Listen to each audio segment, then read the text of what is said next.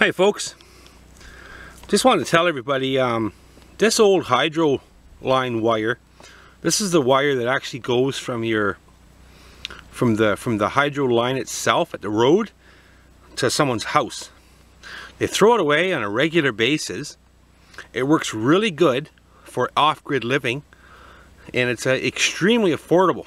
And the reason why it's affordable is because it's aluminum, it's an aluminum wire but in that aluminum, there's a just steel along with it, braided together.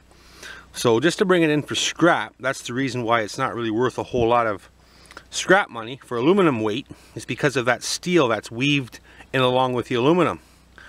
So for the most part, they don't get very much for this stuff.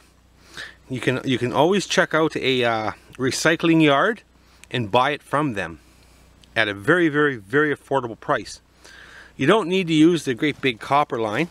This stuff here works just fine for um, off-grid living type thing or, or bringing some kind of DC power to wherever that may be. You know, from your battery bank into your home or from your battery bank to the solar panels or, you know, that type of thing. Um, it's a very affordable. I would recommend everybody that wants to use a large wire because they're running on a low voltage, say 12 volts, 24 volts, check out your recycling places. Buy some of this old hydro line wire, electrical wire that feeds the homes from the uh, road itself. Very affordable and it works well. Thank you for watching folks. Subscribe if you have not and thank you very much for those that have.